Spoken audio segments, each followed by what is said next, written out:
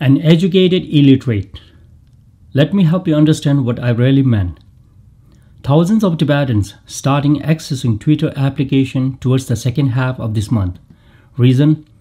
Sameera Khan and her defamatory and derogatory tweets about the most loved person in this world, His Holiness the Dalai Lama. Her initial tweets accusing His Holiness the Great 14th Dalai Lama was copied from an article published by New York Times in December 1979 and another tweet was referred from an article published in the London-based news agency The Guardian. Now, based on the scale and positive credentials enjoyed by this news agency, anyone will think that the articles published in these papers are true.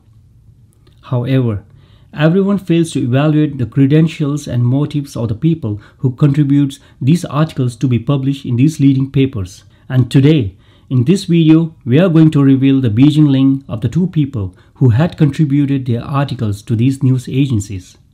But first, Sameera, the educated illiterate Khan, a naturalized American who originally is from Pakistan, the country which owes more money to China than it does to IMF. So naturally, China is the godfather of Pakistan. In 2018, her tweets on Joseph Stalin and his Gulag made hundreds of thousands of people furious and ultimately Sameera Khan, the former correspondent of Russian TV, had to apologize for her inaccurate and false tweets.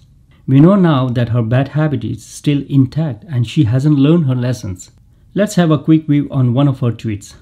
The page that you are seeing on our screen now is from her Twitter post dated October 17th of this month.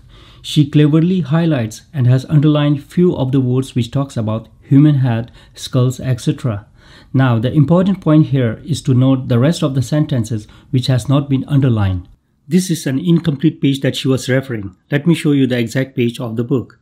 The page that she was referring is in page 357 of the book.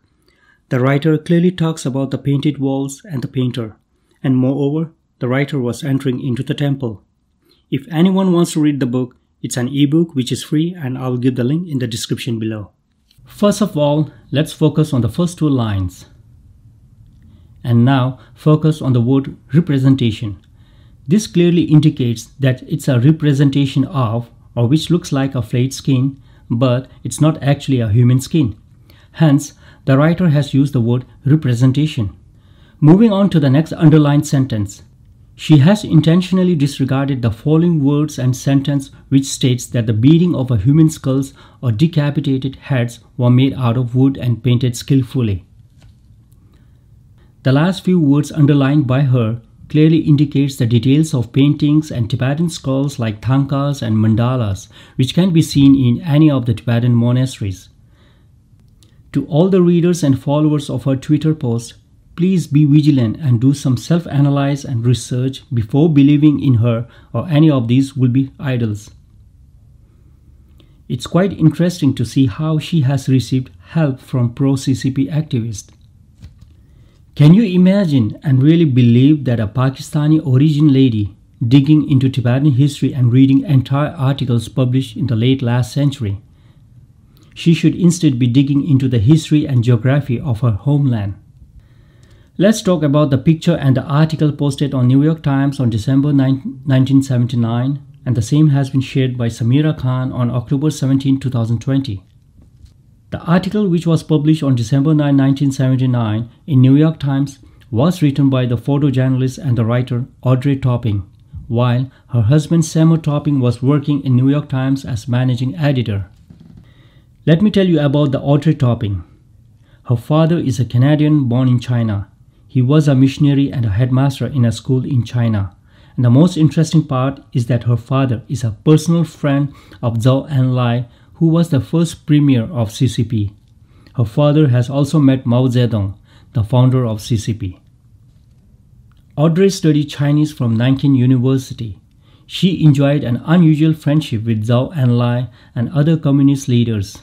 She and her husband Seymour Topping are the only foreign journalists permitted to take photo inside Tibet. Let's talk about the article which was published in The Guardian on February 11, 2009. The article was written by the journalist Sorrel Neuss. Sorrel Neuss is a British journalist who has previously worked for the China Daily in Beijing, China Daily newspaper owned by the CCP government. Sameera has also referred a page from Al Jazeera, out of which I don't see any reliable sources, but I would like to show you the controversial Al Jazeera. Oh my God, I cannot believe this is happening to us. I cannot believe this is happening to us. This is fake news targeted at us by a government. If there is one day I needed your support, it's today. Everyone knows Al Jazeera. It's one of the largest news organizations in the world. But people don't know that Al Jazeera is a government news organization, just like CCTV in China. Tibet was invaded by China in 1959, whereas the article was published in 1979. In these 20 years, CCP has manipulated everything inside Tibet in order to showcase the bad side of Tibet, using the journalist who has been the friend of Communist China since 1891. All of you might have seen the pictures of skulls or skins she has posted. I'll be uploading the facts, the real truth in my next video. Do subscribe to this channel, click on the like button and hit the bell icon to receive notifications of my upcoming videos. Should you wish to learn and understand more about Tibet, its culture and tradition, please connect with any of your local Tibetan friends. They will be happy to enlighten you with the facts of and facts from Tibet. And a huge round of applause to all the friends and supporters of Tibet who genuinely understands the true situation in Tibet and has been voicing out for the voiceless Tibetans against the CCP regime.